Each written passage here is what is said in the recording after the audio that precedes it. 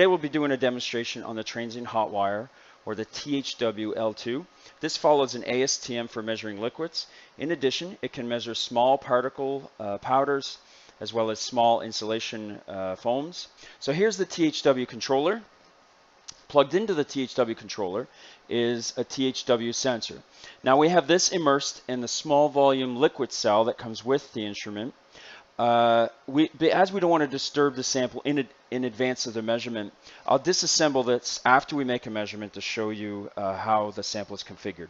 So now that our sample is configured for measurement, let's go ahead and make a measurement. So measurements can be taken by pushing this button on the controller or within the THW software. So let's go into the software as that's uh, an easier way to make demonstration. It's a little bit more convenient uh, way of making measurements as well. So in the software, uh, we can label the sample as well as determine how many measurements we want to make per uh, sample. So in this case, if I wanted to make five measurements, I could add a delay between each measurement and run that and it would automatically run through each test. Uh, in addition, inside the software, we can control this thermoelectric uh, uh, dry bath from a range of 0 to 100 degrees to automate thermal conductivity measurements with temperature. So let's go ahead and make one measurement. This sample uh, we're measuring in this demonstration is actually water. Uh, typical test times for measuring liquids are on the order of around one second.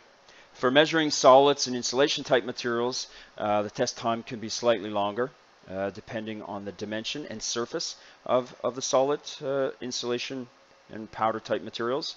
Once your measurement is complete, your thermal conductivity is displayed on the screen, as well as the temperature of the data and your sample ID.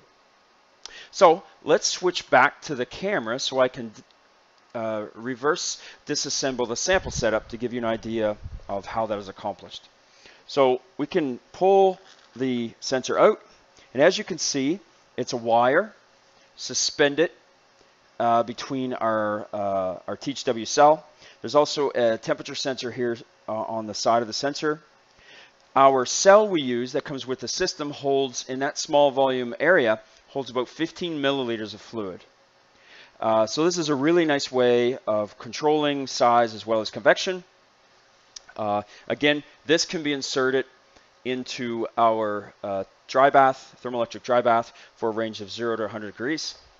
So that concludes our um, example measurement on liquid. Hopefully you find that interesting. If you have any questions, please let us know. We're happy to help. Thank you for your time.